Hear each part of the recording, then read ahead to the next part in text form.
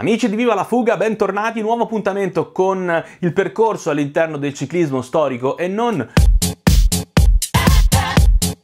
Eh, l'abbiamo parlato la settimana scorsa di una gara storica, di una tappa storica del Giro d'Italia, non vi dimenticate che in questo maggio e nel prossimo giugno il Giro d'Italia ci mancherà un casino e allora parliamo di quello che è successo in passato. Un anno meraviglioso per me, per il Giro d'Italia, quello del 1991, anno in cui il Giro d'Italia lo vinse Franco Chioccioli, lo vinse dominando il Giro d'Italia in lungo e in largo, vinse pure la cronometro finale, ma vinse soprattutto la tappa con eh, la Prica, la famosa, terribile salita del Montirolo con l'arrivo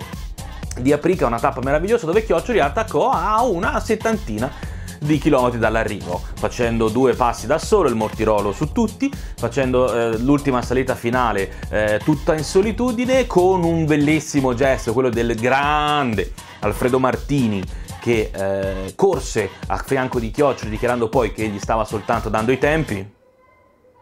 gli avversari erano i grandi Bugno, i grandi Chiappucci, Massimiliano Lelli, Leonardo Sierra, grandi, grandi scalatori, grandi, grandi atleti che Bugno, insomma, l'anno prima si era vinto in Giro d'Italia, mica da poco peraltro eh, vinse la tappa Franco Chioccioli, eh, ribadendo e riportando ancora di più al, alla cronaca quello che era la sua innata somiglianza con Fausto Coppi, che gli è dato il soprannome di Coppino. Non ho mai capito se Coppino a Franco sia piaciuto o meno, magari ce lo faccia qualcuno, lo chiede a Franco, ce lo faccia sapere. Quella tappa rimane comunque nel mio cuore perché, eh, diciamoci la verità, Franco Chioccioli attualmente eh, vive nello stesso, anche allora viveva nello stesso comune in cui sono nato e cresciuto io e io correndo in bicicletta ed avendo Franco lì a 3 km da casa era tutto rosa, era tutto rosa, tutto rosa, tutto rosa, strade rosa, eh, monumenti rosa, eh, balconi rosa, case rosa, tutto era rosa in quella valle